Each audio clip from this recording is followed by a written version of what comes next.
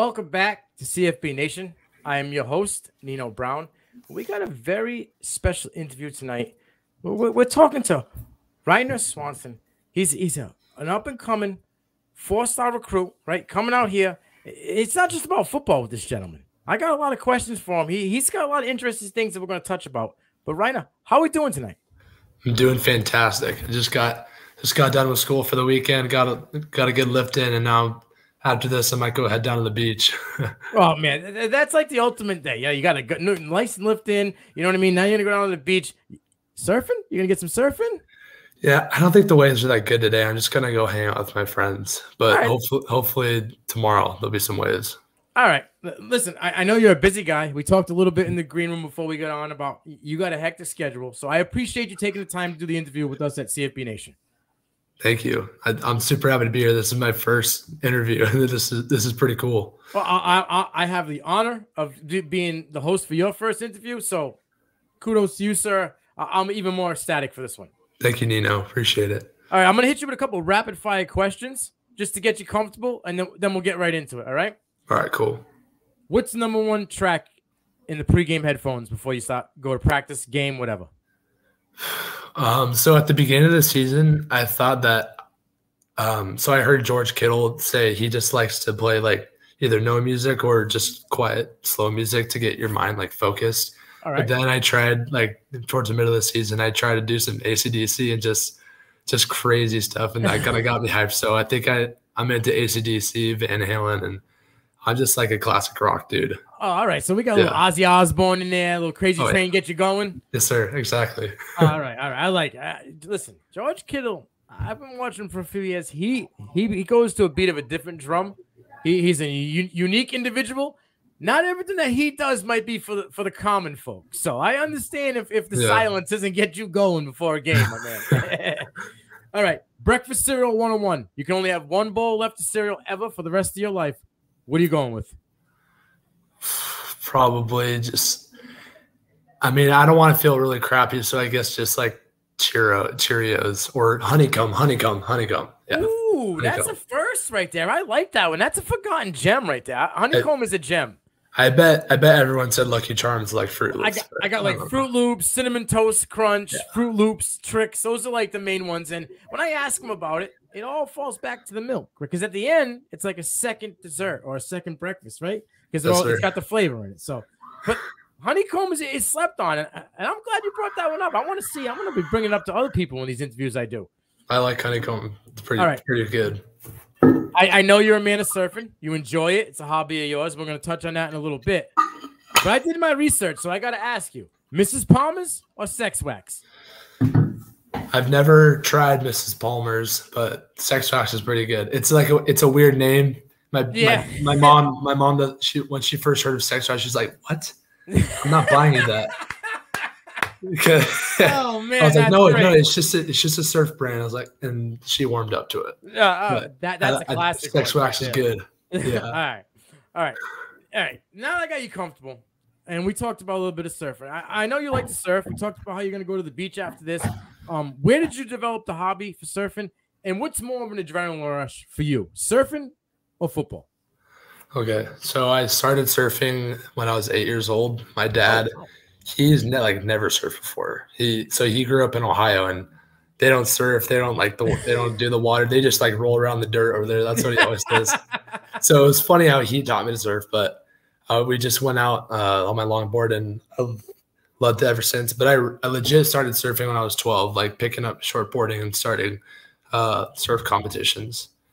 And that wasn't that didn't work out really well because like I'm a big guy and I can't I can't like maneuver the board as well as like these these like little shredders. But like I could hang, I could I I charge big waves and surfing's pretty freaking fun. I'd say I'd say like surfing just it's like a surfing high. Like all I want to do is surf, which which can get kind of bad because which can get kind of bad because like it's kind of a bummy bummy sport in a way and bummy thing in a way. I just want to I want to balance it out with football. But um surfing's just on the weekend, mostly on the weekends, but every every day in the summer I go football in the morning for three and a half hours and then just the whole day go to the beach and balance it out. Listen, I know you're a college, you know, high school football player looking to be a college football player.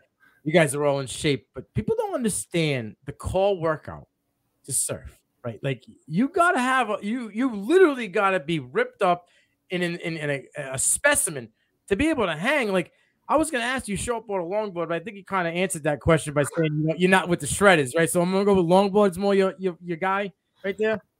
Um, I'd say a shortboard, honestly. I just like I could I could turn, I could like do I could I could do airs and stuff. I could do like a bunch of stuff on the short shortboard. I just can't. I'm not good at competitions. Like okay, it's hard to explain. It's like a really strategic thing, and I'm just not good at that. But I I I could hang with everyone. Yeah. So, but longboarding is fun. Is there a chance that you might be the you know the new age Kelly Slater in the future, or no, no. no. No, that was Dude. quick. You were right on with that. Those one. guys are so good. Like you have no idea. I I can't do that. Listen, I'm an old folk. I grew up with Kelly Slater being the dude, and he's been the dude for long, for 20 plus years. He's still kind of the dude, right? Like you're, you're a young buck, and you know who Slater is, so you know he's the dude. Yeah, he's older than my dad, and he's charging like thirty, like forty foot Waimea Bay. You might you might not know what that is, but it's, it's like that, that's a big one. It's an all time world class wave, and he's just He's just making these 20 year olds look silly. Yeah. But he's, like, he's 50 years old. He's like MJ, the surfboard game. Yeah. Right? Yeah. Exactly. All right. All right. You're 6'5, 240, 6'4, 230. I've, I've seen it different all over the place. And you're a dual sport athlete in high school. You, you throw a shot put for track and field. But not only do you throw shot put, you run sprint events. And I can't wrap my mind around a 6'5, 240 pound junior just running sprint events. Can you tell us about the track and field passion and the sprint sprint events though? Really? well, I mean, my coaches they they told like football guys have always done track and last year as a sophomore I just I I basically started football as a sophomore. Like I played for, I played football as a freshman. I got a, a uh, got a nose for the ball, but I was a D end. And okay. sophomore year was my first time playing receiver. So um, I just got I got a good relationship with my coach, and he and I, I just I've I've known that track is like the the next step after after football season. So I wanted to I wanted to improve my speed. I wanted I wasn't very fast as a sophomore, so I think that track really helped me with my with my like straight line stuff and just being more explosive. So I loved I loved it so much last last year. Um, track, all my friends were there and I wasn't the fastest. I wasn't the fastest last year, but after after a lot of training this this year, I I did pretty well, and I I really love spring events and shot put. My man, you are a humble young young man because I watched you on the football field. I watched the, the Hudl film. I watched it all. Okay, you literally were separating from linebackers, safeties, DBs. It didn't matter. So you're fast, bro. Don't don't don't, don't get it twisted. I, I know you're humble okay. and everything, but you are a fast big man for sure. Thank you. I try. I try. I've been very blessed.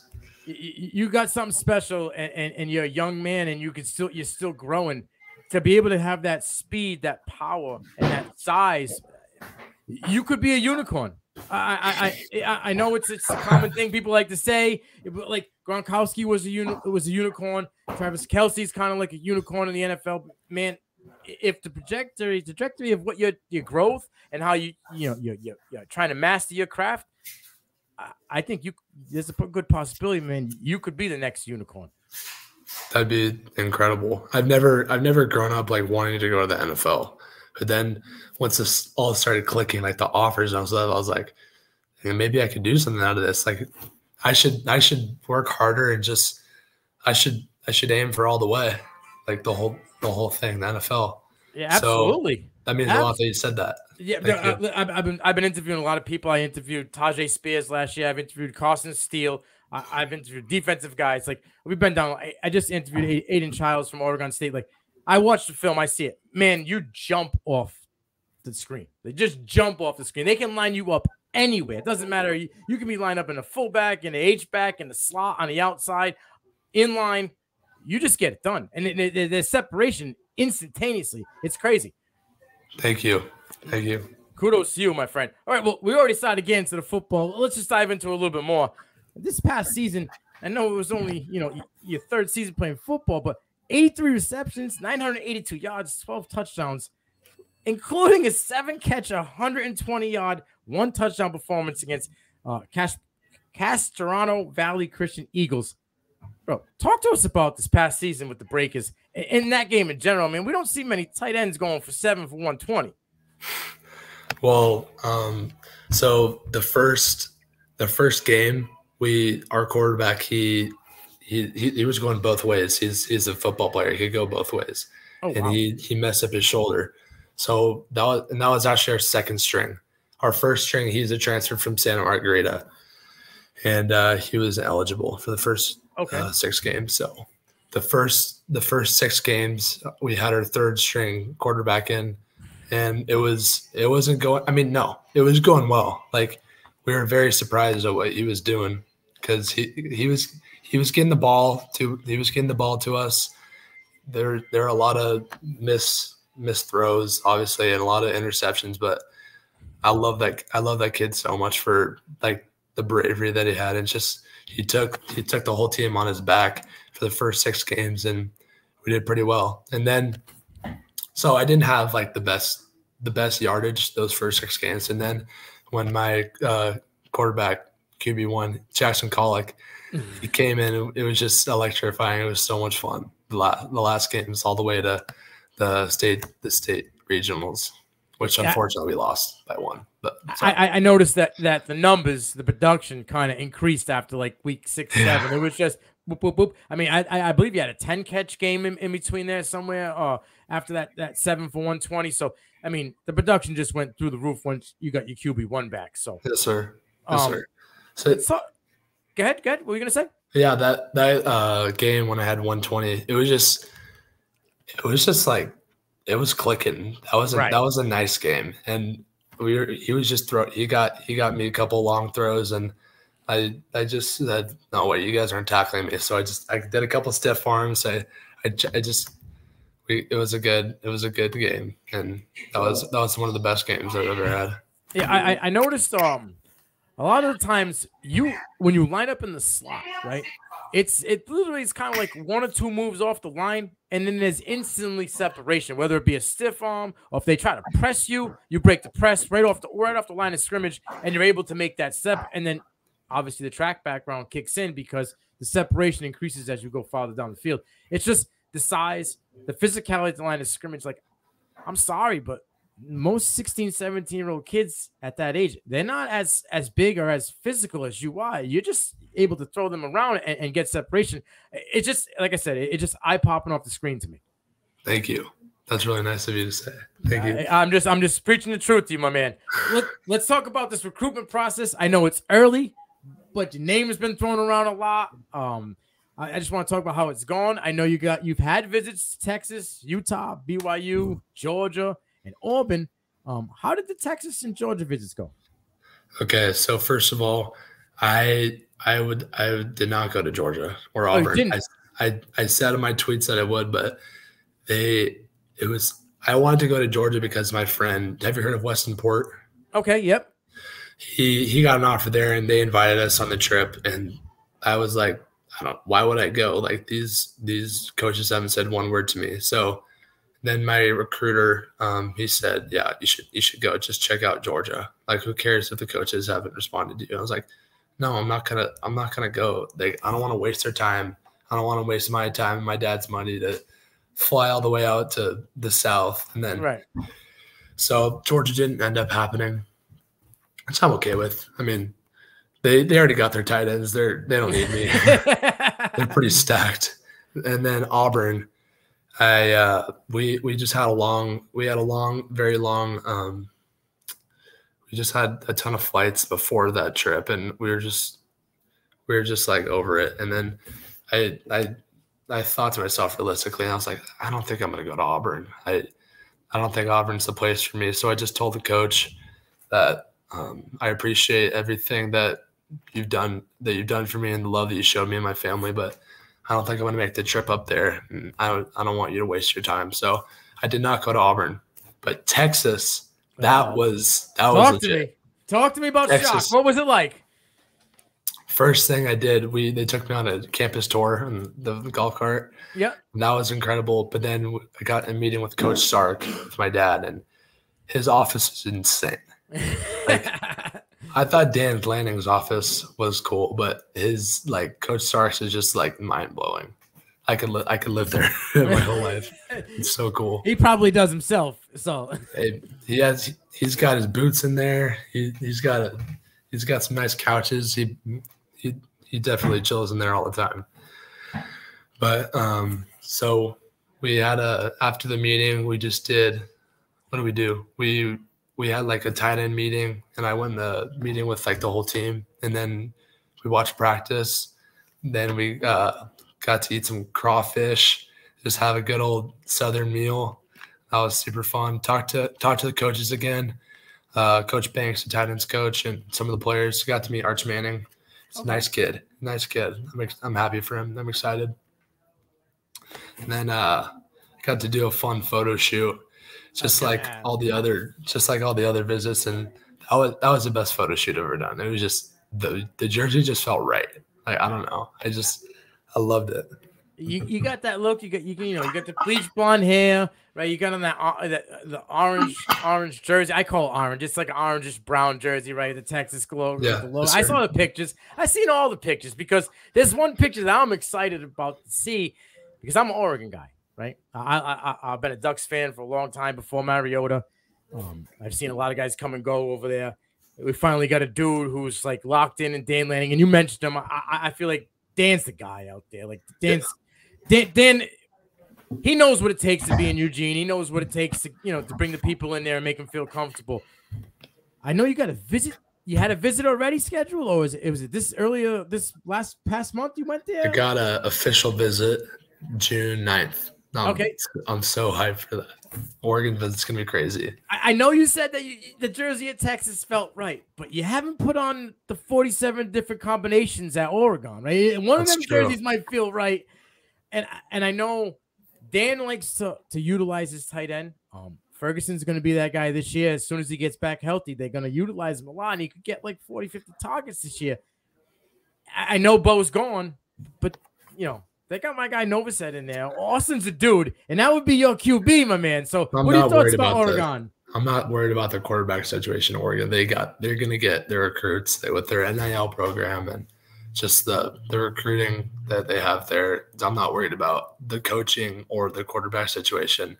I will be fine at Oregon. Like I would love to go to Oregon. I would love to go to BYU. I'd love to go to Texas, but Oregon is definitely pushing it. Like I'm in, I'm into Oregon 100. percent You got me fired up, my man. Like I'm ready to quack quack it all the way up for the rest of this, for the rest of this interview because that that's the thing. Like we, we find wide receivers, we we end up finding somehow we get running backs that, that, that people to sleep on, like my boy Bucky, and they get it done right. A- a- a- And they always they sleep on their quarterbacks. They doubt them. They doubted Herbo. They doubted Mariota. Nix came from Auburn. They doubted him, and they get it done. And now they got a coaching staff in that's ready to go. Uh, my guy Dave U- Uiagalelei, his son Matayo's there, right? So like, they, they're locking in. I would love to see you in 40 different versions of an Oregon uniform, my man. So I'm excited for that coming up in June. Um, Thanks, Dino. Thank you. who else you got lined up besides you know going out to Eugene? Uh, Texas, the official visit is it was scheduled yesterday. Actually, it's June one through three. So the, I know, we like, right here. This is what we- we're looking at. Is, is, it, is it really down to Texas and Oregon? Texas, Oregon, and BYU. Like out of the out of the out of the schools that are offered me, I think those are the top three. Okay, all right. Yeah. Um, And I just like I love BYU because I'm I'm a Mormon guy. I'm a member of the Church of Jesus Christ of Latter-day Saints. okay. They got a great they got a great vibe over there. I love BYU's vibe. Like there's just there's just so much church, like religious family and Kalani Sitake, he's incredible. When I when I'm in the room with him, uh when he had, when, when when we had an interview, me and my dad and him, there was just with some tears were shed. Like Okay. he told some amazing stories and my uh, the spirit was just strong and I could Hit home. BYU is just yeah, Yeah. hundred percent. Th- So Those are the BYU ones that stick for sure. Yes, sir.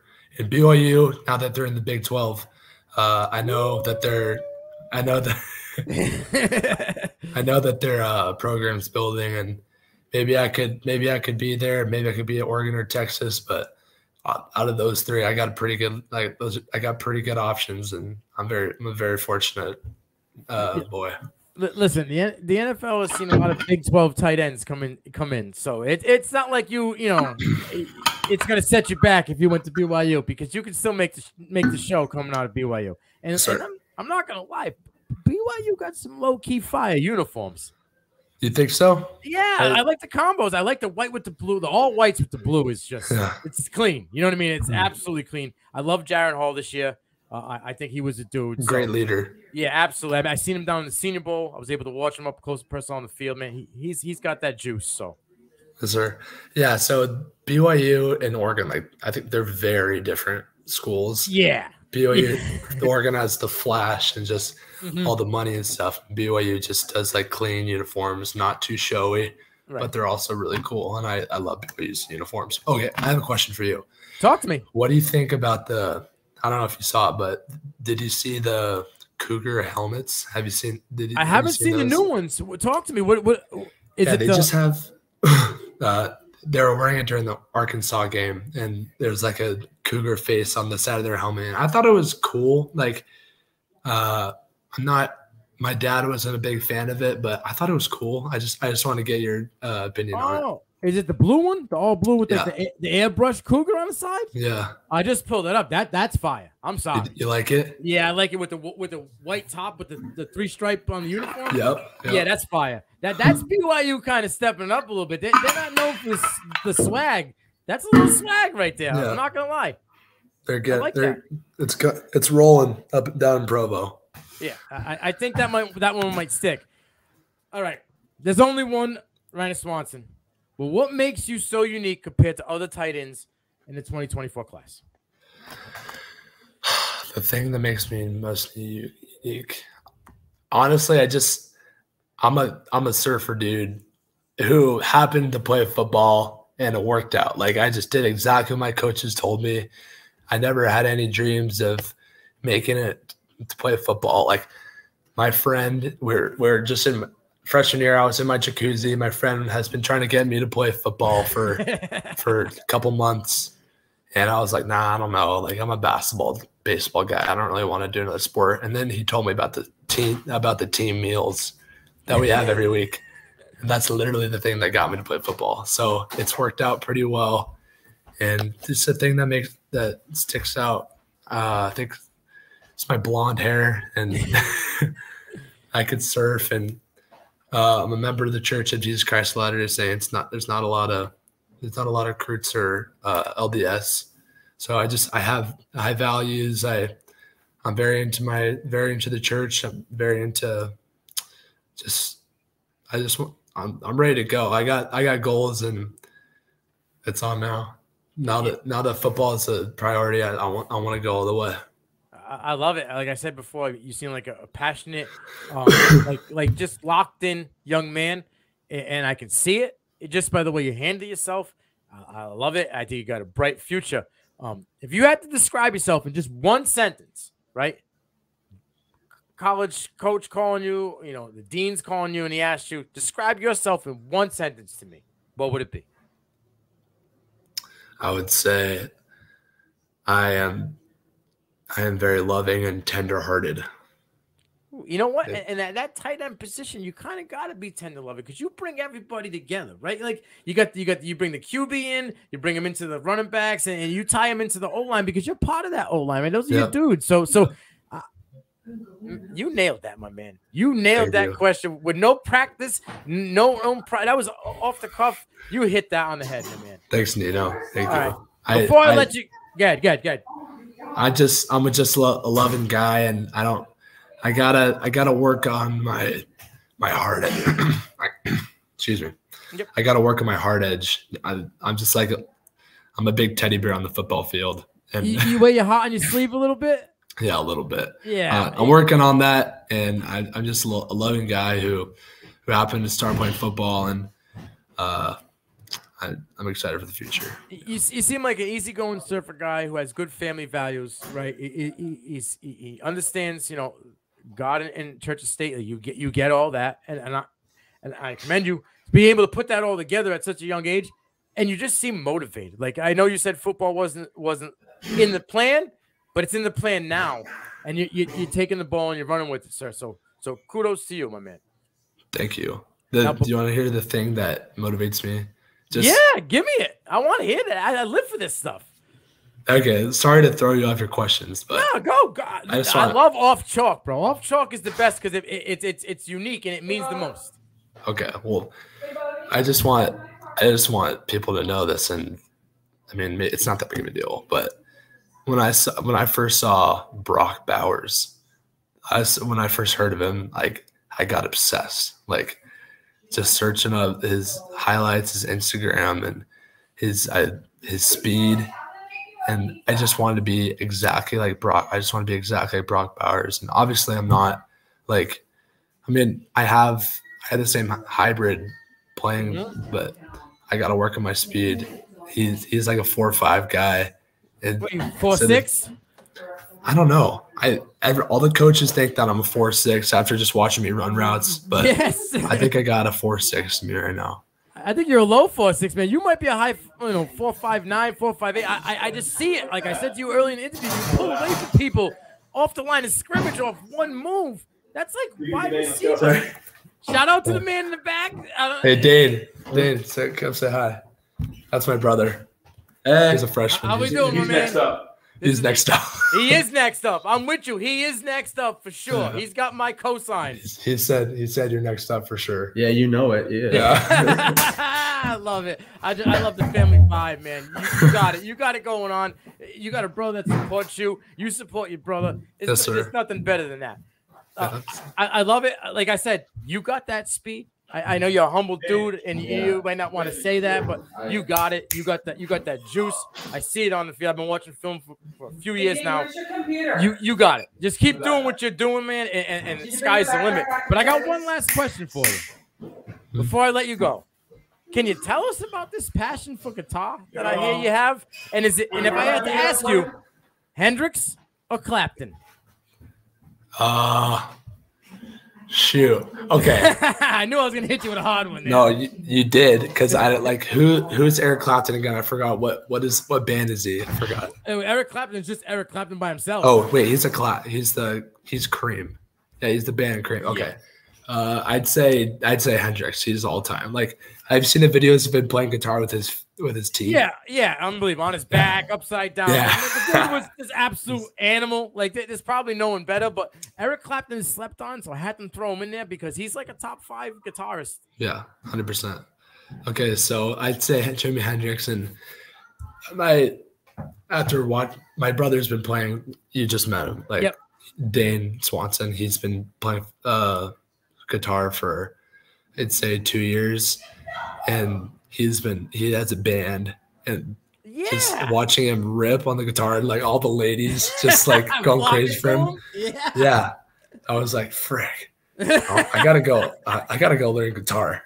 So like four or five months ago, I I, I picked it up and uh try to play every day. I'm in a gu- guitar class in my school, counts as my art credit, and it's been going pretty well. Uh, I'm I'm actually getting. I'm getting pretty, I'm getting pretty decent. And if I had a guitar on me right now, I'd try to play a solo. But Bro, if you were to give me a solo, I would go. I would go bananas right now. You would make my whole weekend, my man. Can you? Can what's what's a song? A simple song that you already got down mastered. Can you tell us one? Okay, uh, I'd say Black Dog by Led Zeppelin, Sweet Ooh. FA by Peach Pit, and just You I'm ain't just- a novice no more. You're not a novice no more, my man. I I've been I've been working on it.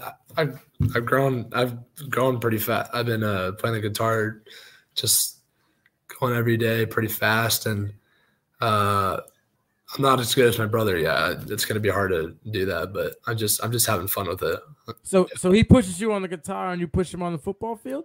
Exactly, exactly. There's Yeah. nothing better. There's nothing better than that, right? A brotherly love and, and, and camaraderie like that, where you guys have the same interests and you can just push each other forward. I, I, love it, my man. Yes, You- sir. You, got a fan in me. Like after this interview, I did my research on you. I, I dove deep. You know, I, the surfing aspect. You got a fan in me. I am going to be rooting for you no matter what school you go to when you go to the NFL because I'm manifesting that right now that you're going to be in the NFL because you just have that that that swag, you carry yourself well and you deserve it. Like you just you know like you're hungry. You're a humble dude. You don't take anything for granted. And, you don't see that in this day and age a lot. A lot of people just expect things like like you to get things on a silver platter because they're somewhat good at something. You, my friend, that's not how you handle yourself. And I respect the hell out of that. You just got me excited right there. That's crazy. Thank you. I'm glad I could get give you a little excitement because you gave me some excitement all week while I was breaking this down and watching your film. So, Ryner, I appreciate you.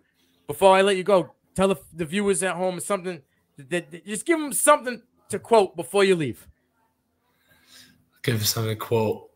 First of all, I want to say thank you to Nino. This this is so cool. Um, I'm very very fortunate to be on the show and be in the position I am. I'd say, uh, don't don't don't think what uh, don't listen to anyone. Just be yourself and yeah.